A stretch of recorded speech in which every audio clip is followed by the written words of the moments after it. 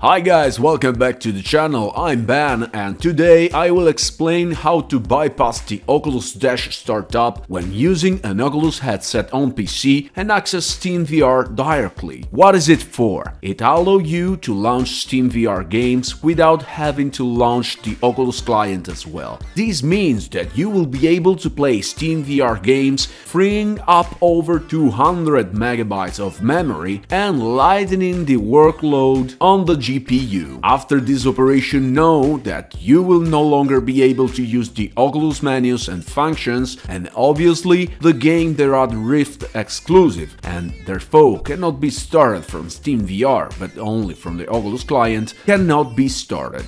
Don't worry though, because this is a reversible operation and I show you how to go back to the end of the video and also is it done in a few clicks, so you can do it quickly whenever you want. Let's not waste any more time and see how to bypass Oculus Client and directly enter SteamVR with Oculus Killer.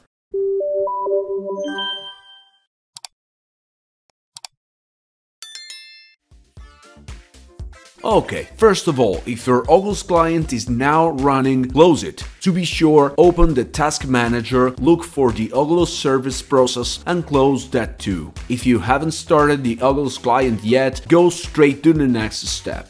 Download Oculus Killer from the link you find in the description and save it on your desk. Browse into the path C, Program Files, Oculus Support, Oculus Dash, Dash and bin and rename the oculus-exe file to oculus-exe.back. Now copy the oculus-exe file you downloaded into the bin folder and it's done.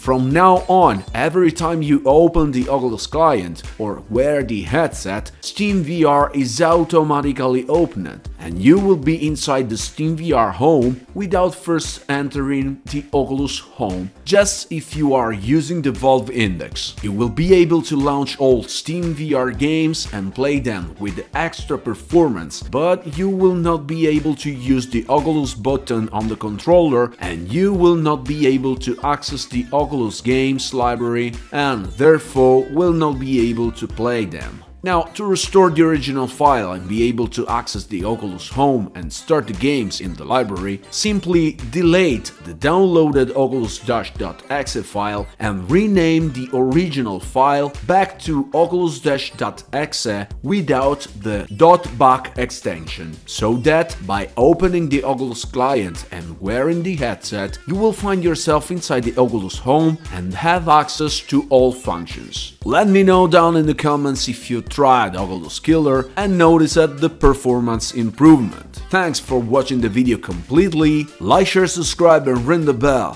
From Ben it's all, see you to the next one, and see ya in VR. Bye guys.